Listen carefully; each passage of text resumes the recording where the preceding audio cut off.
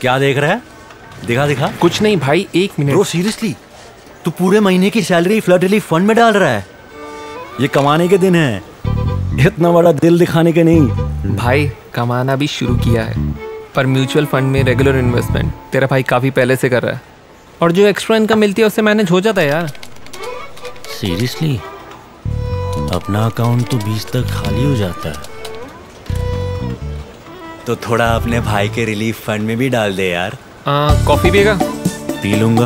उधार पे। जब इन्वेस्टमेंट अच्छी हो तो कुछ अच्छा करने से पहले सोचना नहीं पड़ता। PGIM India mutual fund gain from experience mutual fund investments are subject to market risk read all scheme related documents carefully